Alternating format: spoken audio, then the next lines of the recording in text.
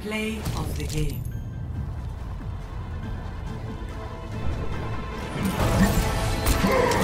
It's high Double